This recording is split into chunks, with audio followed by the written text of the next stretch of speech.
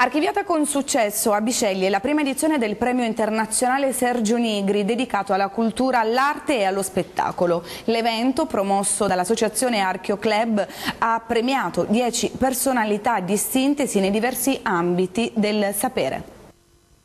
Sono state dieci le personalità premiate nella prima edizione del premio internazionale Sergio Nigri dedicato al mondo della cultura, dell'arte e dello spettacolo. La cerimonia di premiazione è avvenuta al Nicotel di Bisceglie dove il sindaco Francesco Spina e il presidente dell'Archioclub Luigi Palmiotti hanno conferito il riconoscimento a Don Mimmo Marrone per il prestigioso impegno nel campo ecclesiale. Per l'ambito militare è stato invece premiato Pasquale Preziosa, generale di squadra aerea per il servizio militare prestato in diversi paesi del mondo. Per l'ambito giornalistico il premio è stato assegnato al giornalista Paolo Iorio, direttore del Museo Tesoro di San Gennaro di Napoli, per l'impegno nella tutela e valorizzazione del patrimonio artistico ed ecclesiastico italiano.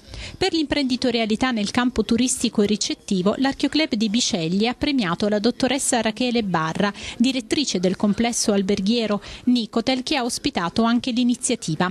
Nel campo musicale encomi al maestro Giovanni Cassanelli, all'arpista Maria Grazia Annesi, al flautista Luigi Facchini e per la canzone premiata Gabriella Aruanno, giovanissimo talento della voce.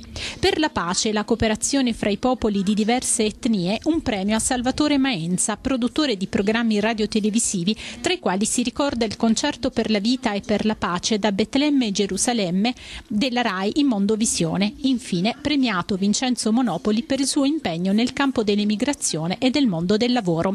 Un evento che viene archiviato con successo e che ha posto già le basi per la preparazione della seconda edizione del premio internazionale sul quale tutto lo staff dell'Archio Club, incoraggiato dall'amministrazione, è già al lavoro da ieri.